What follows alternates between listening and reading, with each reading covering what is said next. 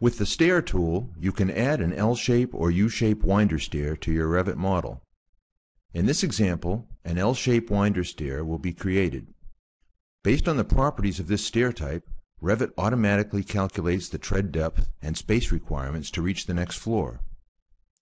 Before placing the run, you may want to modify its instance properties to change parameters such as the winder style, or in this case, the actual run width. To orient the preview as needed in the drawing area, you can rotate it in 90 degree increments by pressing the spacebar. If you just need to flip the preview along its default placement axis, select the Mirror Preview option on the Options bar. Move the cursor to position the stair so that it aligns with the adjacent wall, and then click to place the stair.